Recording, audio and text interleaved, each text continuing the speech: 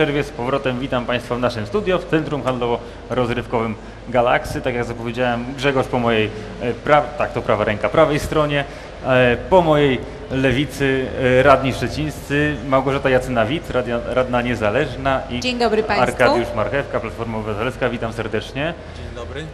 No i cóż, czekaliśmy na tą markonkę, czekaliśmy przed wakacjami, były jakieś obietnice, nie udało się. Później nam obiecywano, że jesienią się coś zdarzy, nie zdarzyło się. Do końca grudnia miał być sk- skończony remont i nie wiadomo co teraz z tym będzie, gdyż główny wykonawca zszedł z placu budowy. Niefortunna ta inwestycja coś na razie. Czekaliśmy, czekaliśmy i pewnie szybko się nie doczekamy. I Arkonka nie miała być gotowa na wiosnę, tylko miała być gotowa w listopadzie 2012 roku, więc ponad rok temu. Pierwszy termin został przesunięty o pół roku. Wiedzieliśmy, że już latem tego roku mieszkańcy naszego miasta będą mogli zaczerpnąć kąpieli na tym kąpielisku. Jednak dzisiaj dowiadujemy się, że nie da się tego zrobić i nawet zimą nie będzie funkcjonowało, funkcjonowało lodowisko, które nawet na było łyżwach tam, e, tam, tam e, planowane, więc jest to kompletna klapa, kompletna e, klapa magistratu, dlatego że tak ogromne opóźnienia nie powinny się zdarzyć w e, cywilizowanym mieście, ale myślę, że Arkonka jest tylko jednym z przykładów, bo na wszystkie inwestycje, na które nie popatrzymy, to kończą się opóźnieniem. Ja osobiście nie mogę znaleźć takiej, która zostałaby zakończona o czasie. To do tych innych przykładów e, przejdziemy nieco później. Jeszcze zostajemy chwilę przy Arkonce. Czy wiemy, co tam się tak naprawdę stało, albo możemy podejrzewać? Bo z jednej strony e, miasto nałożyło kary na wykonawcę jeszcze, jeszcze latem i to dosyć y, poważne. E, Z drugiej strony teraz wykonawca, e, wycofując się z placu budowy, e, wystosował list, w którym tak naprawdę stwierdził, że zamawiający nie bardzo z nim współpracował i on nie jest w stanie tego przedsięwzięcia skończyć. O co tak naprawdę poszło? No, myślę, że to jest po prostu kwestia nadzoru nad tą budową. To, że biuro prasowe pana prezydenta i media y, powtarzały, że y, w lecie wykąpiemy się, miało być to w czerwcu, potem miało być w lipcu, potem miało być w sierpniu, e, to było tylko i wyłącznie przedłużanie takiej agonii, czyli przedłużanie informacji po to, żeby wyciszyć opinię publiczną, żeby no, mieszkańcy nie burzyli się. Natomiast y, wszyscy mieszkańcy, którzy spacerowali w koło Arkonki, doskonale widzieli, że tam nic się nie dzieje na tej budowie, że dwóch, trzech pracowników snuje się po rozwalonej ziemi i na dobrą sprawę nikt y, logicznie na to patrząc, nawet nie będąc biegły w sztuce budowlanej, nikt nie przypuszczał, że zakończenie tej budowy może nastąpić w lecie. Stąd y, to mamienie y, było tylko i wyłącznie zwyczajnym, ja bym powiedziała, takim oszustwem publicznym, dlatego że jeżeli nie mówi się prawdy, no to jak inaczej można to nazwać? Czyli Już fir- firma Kornas nie była w stanie tego wykonać? Bo Nie, no nie miała było- pewne problemy finansowe Na i Koszalinie jej tak. wypowiedzieli Wiedzieliśmy, że umowę. firma Kornas nie kończy tej budowy, mało tego. Wiedzieliśmy też jako radni, jako mieszkańcy, że e, e, miasto jako inwestor zaczyna wypłacać należności nie wykonawcy głównemu, Tylko podwykonawcy. tak, em, konsorcjum, które miało to wykonywać, tylko podwykonawcy. No jest to chyba słuszna decyzja mimo wszystko. No nie bardzo, dlatego że można było już wtedy, wiedząc o tym, że mm, to konsorcjum nie jest wydolne i nie jest w stanie zakończyć tej budowy, już wtedy zerwać umowę. Nie robicie, nie płacimy, dziękuję, do widzenia, nowy przetarg, nowa firma, która będzie kończyła budowę. Czyli pomysł Natomiast- trzymania y, Kornasu na tej budowie i narzucania im kar, co pewnie w żaden sposób nie poprawiło ich sytuacji finansowej, Ja był myślę, chybiony? ja myślę, że w tej sytuacji już narzucanie tych kar w lecie dla firmy, y, dla, dla konsorcjum wykonującego tę inwestycję to już jest zupełnie bez znaczenia. Dlatego, że y, tam nie chcemy za dużo też mówić, nie możemy też za dużo też mówić, dlatego że e, to są taka specyfika rynku e, biznesowego i rynku w ogóle budowlanego, ale ja myślę, że to są takie zamierzone upadłości. Bardzo często jest tak, że firma startuje do jakiegoś przetargu, bierze sobie podwykonawców, w części tym podwykonawcom nie płaci, bierze pieniądze za teoretycznie przynajmniej wykonaną inwestycję i następnie ogłasza upadłość. Niestety nie udało nam się, przepraszam. Zostają potem ogromne długi, ogromny niesmak, zostaje oczywiście problem inwestora, w tym wypadku miasta i być może tak jest też w tej sytuacji. Tym bardziej, że my wcale nie wiemy, ile na tej budowie zostało wykonane robót. Dlatego, że to, że miasto mówi, że jest to 80%, to tyle wypłacono pieniędzy. Ale ile zrobiono, nie wiemy, dlatego że nie przeprowadzono inwentaryzacji. Dopiero po przeprowadzeniu inwentaryzacji będzie można powiedzieć, ile de facto wykonano pracy na budowie Arkonki. A jak się ma ten pomysł teraz, żeby oddać to y, firmie, która była częścią tego kon konsorcjum, czyli Bluepoint, bezprzetargowo, żeby spróbowała to dokończyć? No, podejrzewam, że nie ma teraz innego wyjścia, bo już ten termin jest to tyle przedłużany, że e, gorzej być nie może i to jest e, chyba wybór najmniejszego zła. Ja mogę tak to nazwać. E, Myślę, że Arkonka i mówienie o jednej firmie jest tylko pewnym przykładem, bo Należy zwrócić, że miasto przy pozostałych inwestycjach we- bardzo często aneksowało te umowy i zbyt wielkich kar na wykonawców nie nakładało. Może ta inwestycja jest taka spektakularna, stąd się biorą te huczne zapowiedzi o wielkich karach za opóźnienia. Ja kilka miesięcy temu złożyłem do prezydenta interpelację, gdzie zapytałem wprost, jakie kary za opóźnienia zostały nałożone przez urząd na wykonawców, to dostałem odpowiedź, że jedynie na dwa boiska Orlik, które były przy szkołach realizowane, zostały nałożone kary, które zresztą e, były symboliczne tak de facto. Natomiast jak No w tym popatrzymy- przypadku nie były aż takie symboliczne, bo tutaj tym było nie, 12 natomiast tysięcy mówię w przypadku- złotych dziennie, więc Przy, dlatego mówię, że w przypadku tamtych boisk, natomiast ta inwestycja jest dosyć spektakularna, no i e, mi się wydaje, że prezydent próbuje w pewien sposób wybrnąć. Jeżeli popatrzymy na wszystkie inwestycje, które są realizowane w naszym mieście, to można wy- wymieniać te, które są opóźnione. Filharmonia, teraz już wiemy, że będzie ponad Tak. rok opóźnienia. Arkonka, ponad rok spokojnie. Cmentarz na Bronowickiej był 24 miesiące ponad opóźniony. Kładki na Gdańskiej 12 miesięcy. Trafostacja sztuki rok czasu. Pierwszy etap trasy północnej rok. Aleja Kwiatowa prawie o 10 miesięcy się opóźniła. Bulwary nad Odrą 8. Wyspa Grodzka miała być gotowa przed e, finałem regat. Nie jest nadal gotowa. Żłobek przy Niedziałkowskiego 12 miesięcy, Niemierzyńska została też o kilkadziesiąt dni opóźniona, więc no, nie ja autentycznie, jak ja się y, pat, jak, jak, jak, zwracamy, jak zwracamy uwagę na to, co się w tym mieście dzieje, no to to jest pewnego rodzaju tumiwisizm służb miejskich, czyli takie nieprofesjonalne podejście i moim zdaniem też brak odpowiedniego nadzoru. Zdajem, wiemy, że e, kilka miesięcy temu prezes, e, pan prezydent spektakularnie e, zmienił dyrektora Wydziału Inwestycji Miejskich. Nie wiem, czy to dało e, cokolwiek, bo ja żadnej poprawy w tym efekcie nie widzę. No i niestety, e, jesteśmy po trzech latach rządów e, koalicji prezydenta Krzystka z PiSem i SLD.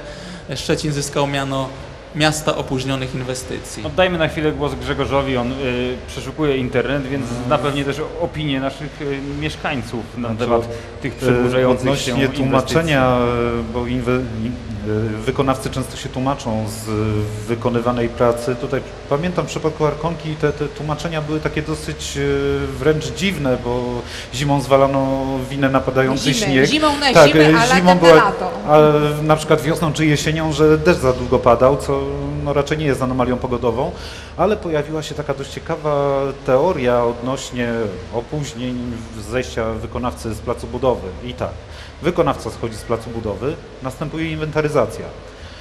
Yy, Wykonawca przedstawia faktury, które zwykle są zawyżone, no bo Oczywiście. inwestor nie zna się na No, tym, mamy nie, nie zna przykład kosztów. oczywiście Centrum Żeglarskiego, Yy, prawda? Dokładnie tak to Pojawia wygląda. się kolejna firma, robi się kosztorys, okazuje się, że pozostałe prace przekraczają budżet, czyli te pozostałe pieniądze, które zostały na inwestycje. Miasto szuka pieniędzy, czyli gdzieś skądś zostają nagle te pieniądze ucięte, bo muszą skądś zostać zabrane, no ale nie chce się skompromitować, bo z kolei te inwestycje należy dokończyć. No i w ostateczności inwestycja nie dość, że jest opóźniona, to wychodzi dużo droższa niż było to w planach, było to w zamierzeniach. No tak jest y, praktycznie z każdą inwestycją. Każda inwestycja jest znacznie droższa niż miała być na początku, czyli niż wynosiła kwota kosztorysowa i kwota ryczałtowa później już ym, po przetargu. Y, tak, to, taka sytuacja, o której mówił tutaj redaktor, ma miejsce na przykład przy budowie żłobka, gdzie jak sumujemy kwoty pomiędzy dwoma firmami, które w różnym przedziale czasowym budują ten żłobek właśnie po tym, jak pierwsza firma zeszła z budowy, to ten żłobek jest o 2 miliony droższy.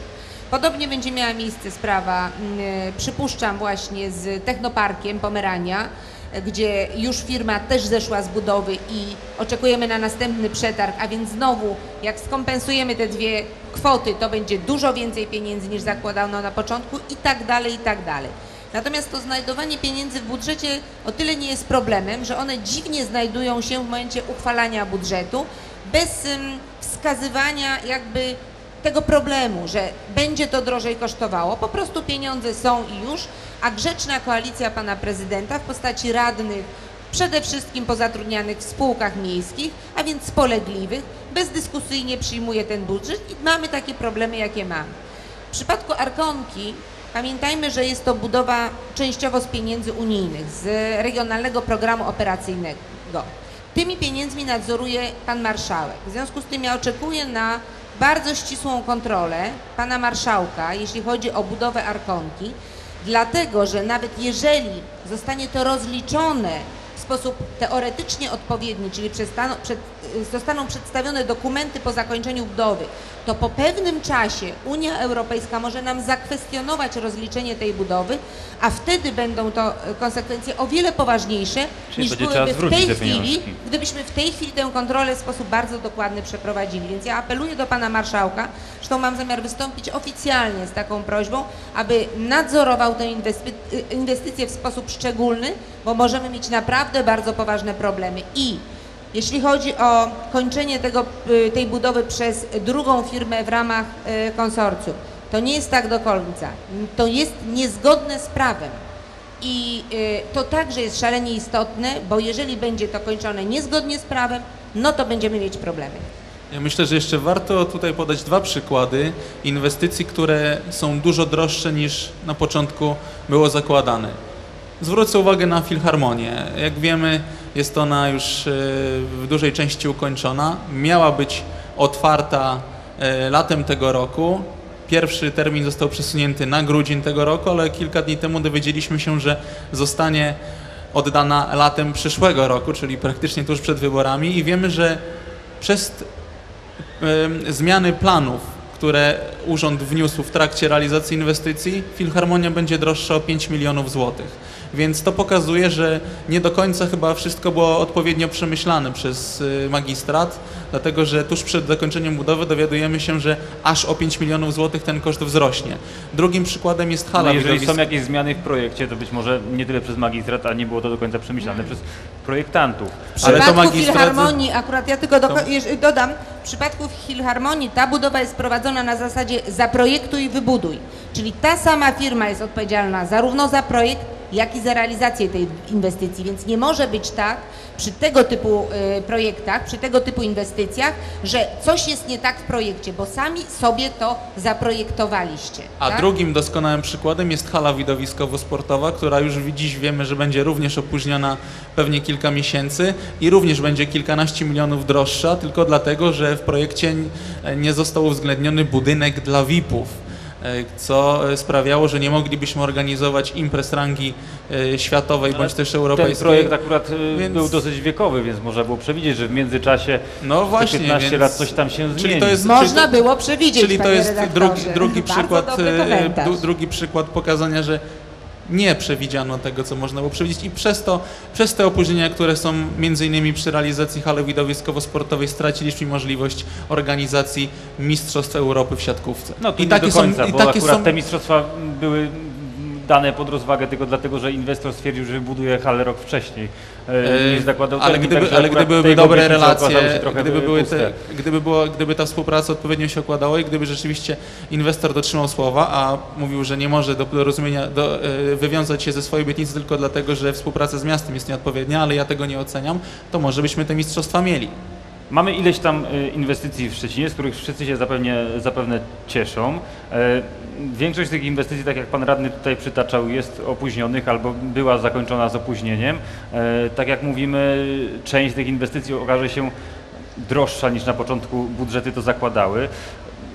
Ja tutaj rozumiem, że jest w takim razie jakiś błąd systemowy. Być może w takim razie ktoś po prostu zakłada, że e, te ceny, które są podawane, są wzięte z kosmosu.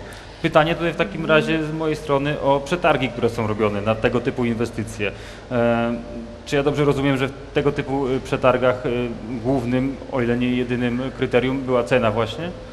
E, Tak, w tych przetargach jedynym kryterium jest cena, e, dlatego że przyjmuje się tak zwane przetargi ryczałtowe, a nie przetargi kosztorysowe, czyli jedna ostateczna cena i zaczynają się wtedy problemy, dlatego że jeżeli kto inny przygotowuje projekt, a kto inny go realizuje, to po pewnym czasie okazuje się, że w tym projekcie nie ujęto pewnych rzeczy, które powinny być ujęte, bo nie ma innej możliwości wybudowania tego. W związku z tym doprojektowuje się, jak w tym wypadku e, Trybunę Wipowską, ale nie tylko, bo, bo mnóstwo jest tego typu rzeczy i wtedy koszt jest droższy. Istnieje możliwość oczywiście nawet przy cenie, przy przetargu ryczałtowym podniesienie tej ceny e, do 10%, natomiast Błąd systemowy bardziej polega w braku nadzoru i niewłaściwym nadzorze ze strony miasta. Większość tych inwestycji niestety nie jest wykonywana przez Wydział Inwestycji, który powinien zatrudniać fachowców, tylko jest nadzorowana i realizowana przez jednostki miejskie, na przykład Zakład Usług Komunalnych, Miejski Ośrodek Sportu i Rekreacji, e, Wydział Oświaty i tak i y, brak fachowców w tych jednostkach miejskich powoduje brak nadzoru, dlatego że ci ludzie Ale- boją się po prostu podpisywać dokumenty. Panie Nadzór to jest, to jest jedna sprawa. Ja To jest zakładam, że jeżeli istotne. ktoś robi przetarg na jakąś tam inwestycję, która szacunkowo jest warta, nie wiem, 15 milionów i, yy, I co? znajdzie się wykonawca, który stwierdzi, że zrobi to za 10, tak? Wszyscy się cieszą, miasto mówi fajnie, proszę robić. To jest oczywiste, że w pewnym momencie to się w jakiś sposób y, wykolei i tych pieniędzy zabraknie. Mam wrażenie, że tak się dzieje i przy budowie dróg i autostrad w naszym e, tak całym się dzieje kraju. w przypadku przetargów ryczałtowych. Dokładnie tak. E, O wiele lepsze w tym momencie do realizacji inwestycji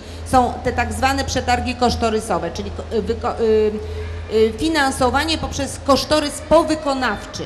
Wykazuje się wtedy ile i co zostało zrobione, tyle, że wtedy nie można zabezpieczyć odpowiedniej kwoty w budżecie na tę daną inwestycję, dlatego że te pieniądze wiemy ile jest potrzebne w momencie dopiero, kiedy jest realizowana ta inwestycja. Czy miasto może I- przeprowadzić przetarg, Może. gdzie cena będzie tylko z jednym, jednym z kryteriów, gdzie tak naprawdę będzie mogło wybrać y, firmę, która da wyższą cenę niż na przykład inne firmy, ale zaproponuje y, krótszy termin wykonania, czy tam powiedzmy jakieś aspekty, które y, albo racjonalnie będzie wyglądało na to, że rzeczywiście ten, y, tą inwestycję w terminie wykona. Czy to w, prawie polskim jest możliwe? Generalnie nie, dlatego że tak jak powiedziałam, istnieje możliwość tylko e, albo, koszt, albo przetargów ryczałtowych, albo przetargów kosztorysowych. Inne kryteria w tej chwili nie są wymierne przy y, przyjmowaniu oferty y, na określoną inwestycję.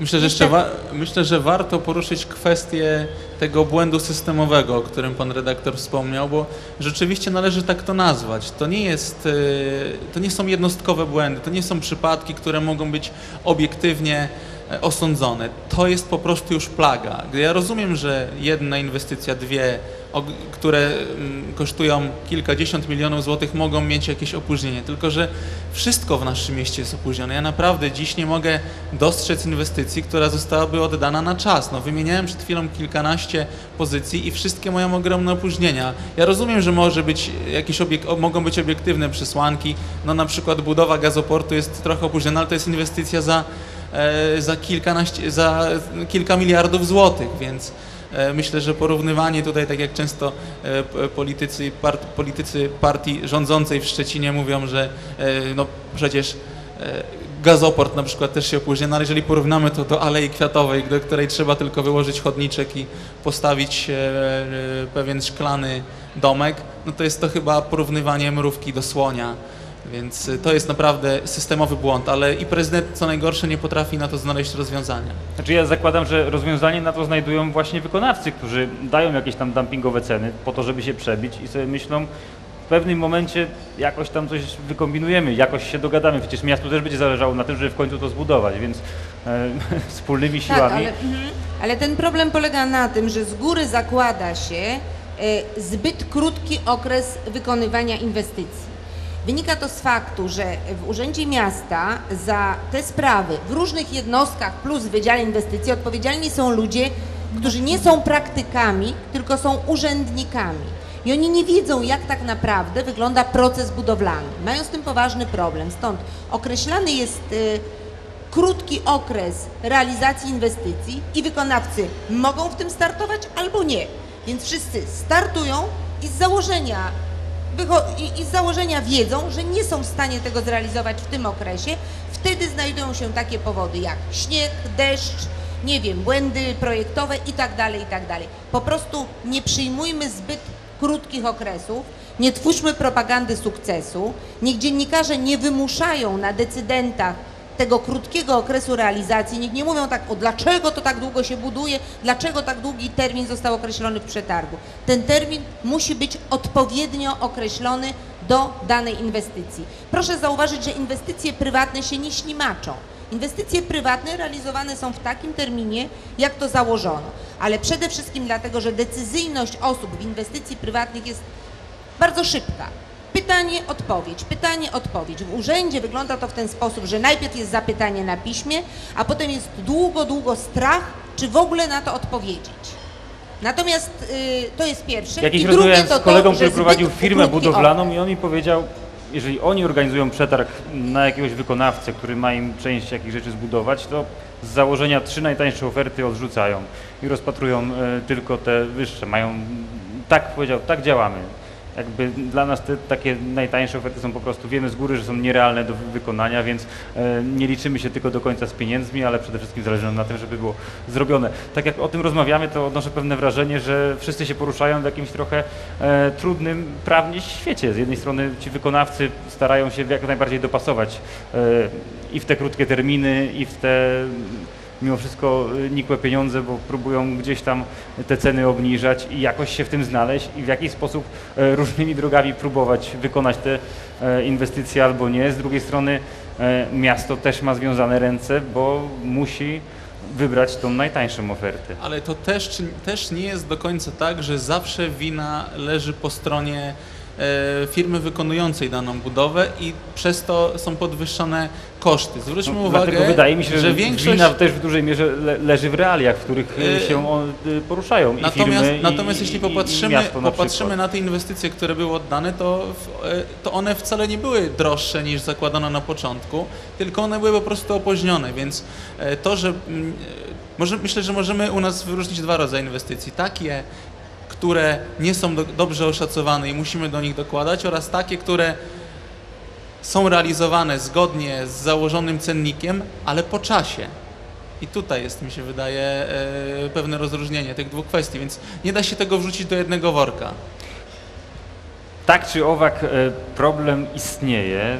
Nie wiem, czy udało nam się go zdiagnozować tutaj do końca. Może żeśmy coś nakreślili, bo skoro większość inwestycji niestety jest opóźnionych albo niedoszacowanych, to nie jest No do końca tak, jak być To jest to, powinno. o czym mówiliśmy. Jest to kwestia nadzoru nad tymi inwestycjami od samego początku, czyli od momentu zaprojektowania inwestycji, przetargu i realizacji. Jeżeli inwestycja jest od początku dobrze nadzorowana, a osoby, które nadzorują, mają umiejętność podejmowania decyzji, ba, da się im możliwość podejmowania decyzji, to taka inwestycja jest dobrze realizowana. Natomiast jeżeli ludzie boją się podejmować decyzji, jeżeli od samego początku ten nadzór jest kiepski, no to mamy to, z czym mamy w Szczecinie do czynienia, czyli z opóźnionymi i drożejącymi w czasie inwestycjami. Grzegorz, czy jakiś komentarz od internautów jeszcze na koniec? Komentarz od internatów odnośnie samych wykonawców, bo często jest tak, że, że opinia o danym wykonawcy jest już niezbyt ciekawa, a okazuje się, że on wchodzi na plac budowy. Tutaj w przypadku no, wracamy znowu do tej nieszczęsnej Arkonki. Firma, która robiła Arkonkę, bo już, już e, nie pracuje na placu budowy, e, miała wcześniej podobno problemy w Koszalinie z akwaparkiem, a okazało się, no, internauci lepsi niż dziennikarze śledczy, wynaleźli, że tego samego dnia, dosłownie jak w Szczecinie, ta sama firma, to samo konsorc- wchodząca w konsorcjum wycofała się z budowy portu w Iławie. No cóż, Coś jest na rzeczy. no cóż, to możemy w takim razie zapytać tylko, dlaczego służby pana prezydenta nie sprawdziły tych faktów przed e, zatwierdzeniem e, umowy z firmą, wy, która wykonywała e, Arkonkę, dlatego że zawsze... A fakty te nie są aż tak trudne do A sprawdzenia. nie są bo- aż tak trudne, natomiast zawsze w przetargu napisane jest, że istnieje możliwość unieważnienia przetargu bez powodu, czyli w tym momencie, jeżeli miasto było przekonane, czy mogło przekonać się o tym, że wykonawca jest niewiarygodny, miasto mogło odstąpić od podpisania umowy i ponownie ogłosić przetarg. Nawet kosztem terminu, ale to jest wtedy zrozumiałe, to Nawet jest tym wytłumaczalne. kosztem. Dokładnie tak, dlatego że my musimy myśleć o tym, że to są nasze pieniądze, pieniądze, które pochodzą z naszych podatków i każdy, każda złotówka musi być pięć razy obejrzana, zanim zostanie wydana, a już nie daj Panie Boże zmarnotrawiona, bo to jest nieszczęście straszne. Nakreśliliśmy dzisiaj kilka problemów,